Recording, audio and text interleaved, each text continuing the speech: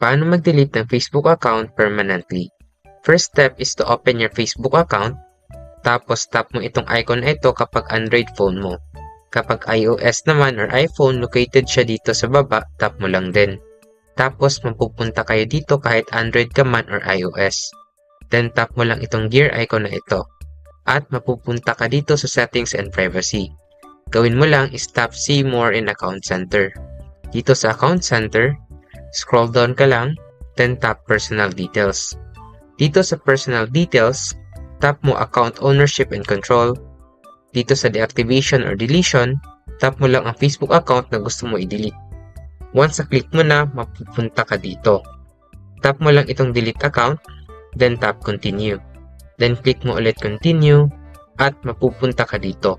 Mamili ka lang ng reason kung bakit gusto mo i-delete FB mo. Once nakapili ka na tulad ko, tap continue, then tap continue ulit. Scroll down, then tap continue.